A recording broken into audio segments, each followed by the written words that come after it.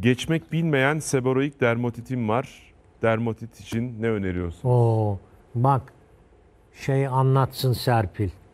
Müthiş orada yani e, seberoid dermatit için. Evet. Döverek e, bir tatlı kaşığını dövecek böyle yoğurda karıştırıp yemesi lazım günde iki defa şeklinde. E, sabah ve akşam. Seberoid dermatitte bir çekirdekli siyah Kara üzüm.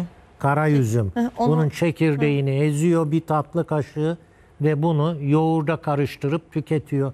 Veya yoğurda karıştırması şart değil.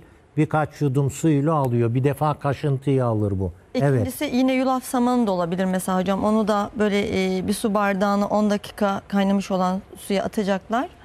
E, attıktan sonra Bir sıcak tutam veya Hı hı. sallama çayı da var onun. Sallandır veya bir tutam ama yeşil olacak. Bak yeşil olarak hasat edilmesi lazım yulaf samanının. Yani e, bu sarardıktan sonra etkisi azalıyor. Yani Bunu o dışarıya sürmesi lazım çünkü kaşıntıyı da alıyor orada. Bunu yapması lazım. İkincisi de bu e, sarımsak yağı ve çörek otu yağlarımız var mesela şöyle. Bunları da yan yana karıştırıp oraya kullanması lazım. Bir de elma sirkemiz var. Bu elma sirkemizi de oraya sürmesi lazım. Bunları gün aşırı yapması lazım. İlk başta yulaf samanını sürecek.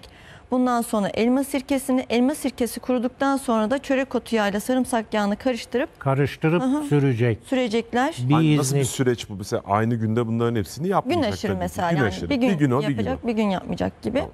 Bunu sürecek. Bunu sürdükten sonra da mesela kükürtlü sabunu e, orayı yıkaması gerekiyor kükürtlü sabunla da.